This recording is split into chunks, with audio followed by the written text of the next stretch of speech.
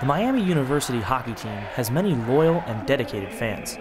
From the pep band that plays at every home game to the die-hard students who wait in line hours before each game.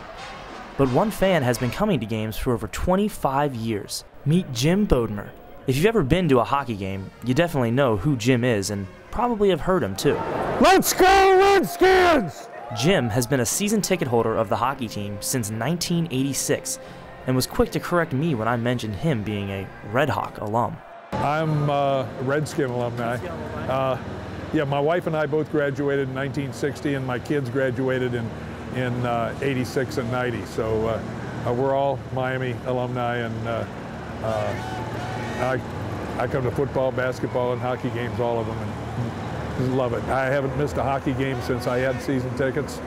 I don't I guess that's the same for basketball and football too. It's been fun. It's just a lot of fun.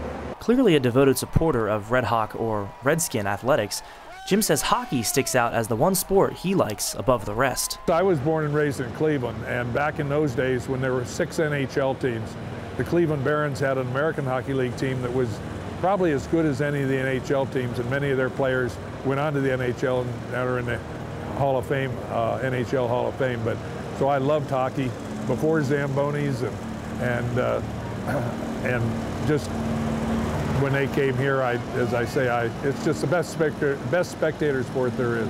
As both a spectator and supporter of the red and white for over two decades, Jim has seen many memorable moments in Red Hawk hockey history over that time. The first time they won the CCHA championship in 93, uh, they beat uh, Michigan. Jason Mallon scored a goal in overtime, a minute into overtime, uh, to beat Michigan, which did not win the championship, but uh, in effect it did because if they'd have lost, Michigan might have gone to win, but Miami won it the next week at Ferris State. But that was, the, that was probably the most exciting. There have been other games. Uh, I went to Alaska once with the team, and that was fun. Uh, Ohio State, when Miami scored, uh, Matt Glumak scored a goal at 4:59.9 of overtime with a tenth of a second left to win one to nothing that was a fun game to watch the Ohio State fans. But uh, there have been so many that uh, uh, the game where Miami beat Western Michigan scored two goals within 20 seconds or something like that uh, a couple years ago was fun. There have been so many, it's just hard to say.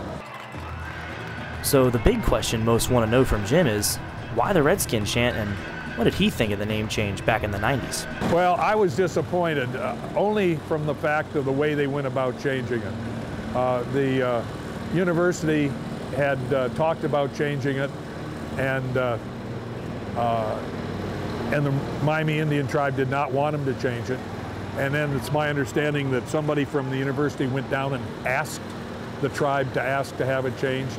If the tribe would have asked on their own, I'd have been all for it. But uh, but I was a redskin, and and I'm not going to lose any sleep over it. But I just like to have fun, and uh, uh, if it irritates some politically correct people, so be it. But uh, uh, I enjoy it, and, and it's, a, it's at the point now where if I quit, so many people say, well, I haven't heard you tonight or whatever. So we want more goals. Sam, Sam, Sam, As Miami continues its run deep into the playoffs, having fans like Jim will only help the team toward their goal of a national championship.